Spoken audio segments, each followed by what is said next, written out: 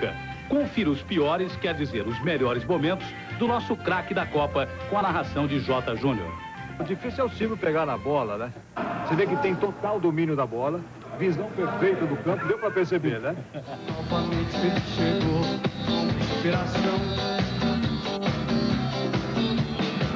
Com muito amor, com emoção, com explosão. Oh, oh,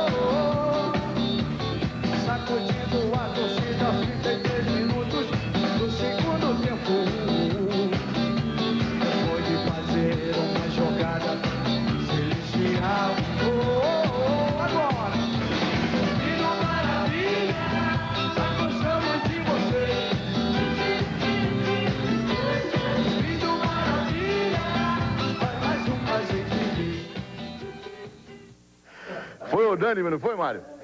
Quantos votos? 1.030 votos a zero. Ele falou pra ele ali, Mário. Não, é o craque de todas as Copas. Se eu falar, censura a cota.